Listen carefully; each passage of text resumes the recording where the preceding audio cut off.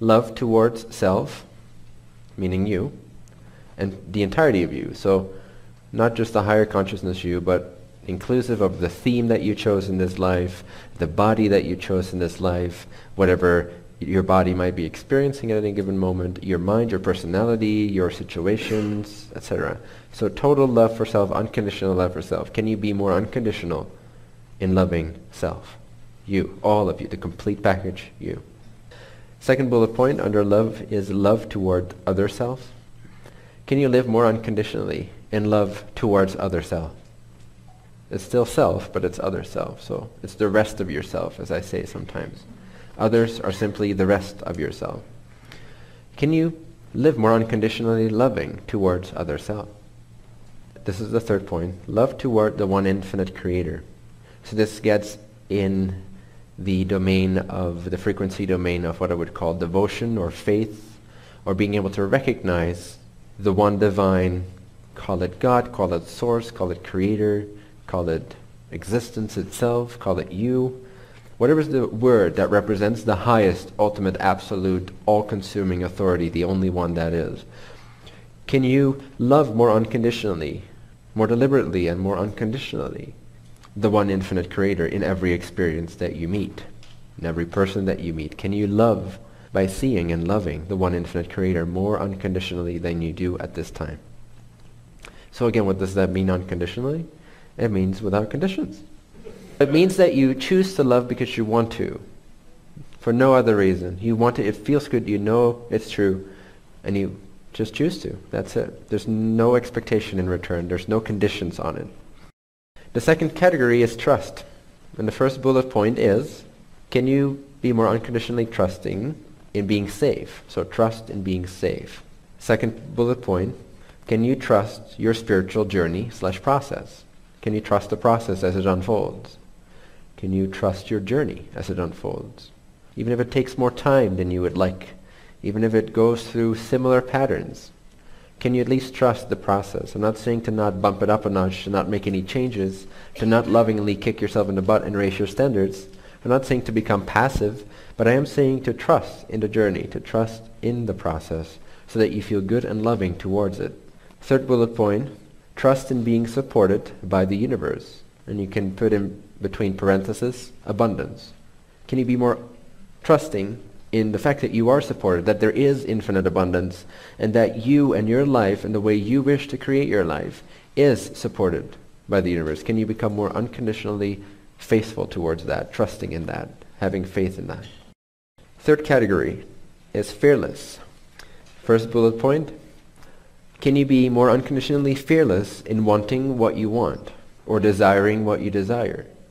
Basically, this means that you are not afraid of your desires anymore. It's very important. Desires is what guide your journey, largely. So you have to trust in or be fearless in wanting what you want. Doesn't mean you have to become a maniac about it and you have to manipulate your circumstances to get it.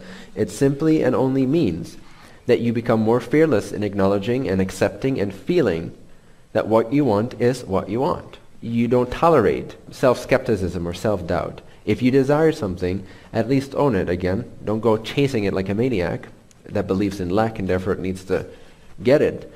But accept that you want what you want and fall in love with that. Okay, so can you become more fearless in what you desire, who you desire to be? Be fearless in that. Trust it. Second bullet point under fearless is fearless in expressing yourself. Can you be more unconditionally fearless in expressing yourself? Whether that is telling the truth of your experience to your partner or someone you're talking to? Can you be truthful in your communication? Fearless in that. But it also means, can you be fearless in showing up to life in whatever way you desire and is part of your passion? Can you be fearless in expressing yourself in general towards nature, towards people, towards the society? Can you be fearless in following your joy and expressing yourself? And the third bullet point is fearless in serving others or other selves or the rest of yourself. Can you be more fearless in being of service? Because oftentimes we like the idea of being of service to others. We've been conditioned to believe that's the good thing to do and it's rightful and it's beautiful and it's ridding you of sin and all those stories. But really, when it comes down to it, a lot of people protect their own bubbles. They protect their own lives. They put their own thing first, which in some ways is the right thing to do because if you're empty, you can't give anything, of course.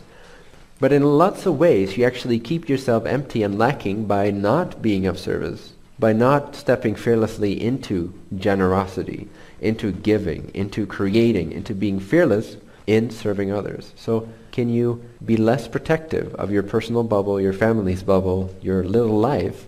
And can you expand the little life to become a somewhat bigger life and include more people, more beings? Be more fearless in being of service to others. So tonight before you go to bed, I want you to go through this list. And I want you to do this in a relaxed meditative state where you're tuned into yourself. You're relaxed. You're at ease as much as you can, as much as you are. What I want you to do is to go through these bullet points and just consider these questions. When you consider a question with an open, relaxed mind, it does almost all the work for you. Sometimes it does all the work for you.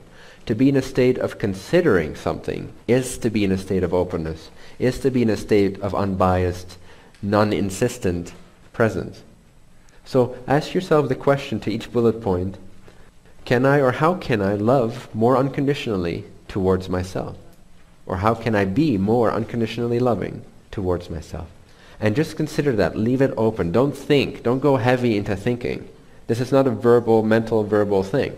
This is an intuitive, energetic, tactile experience. This is very, almost bodily in a way. It's a very embodied presence type of experience. Okay, so you relax your mind, do whatever you want to do to take a deep breath, and relax for two to five seconds. Maybe do that like five times or so until you feel that the momentum of thinking has subsided a little bit and there's more space in your consciousness.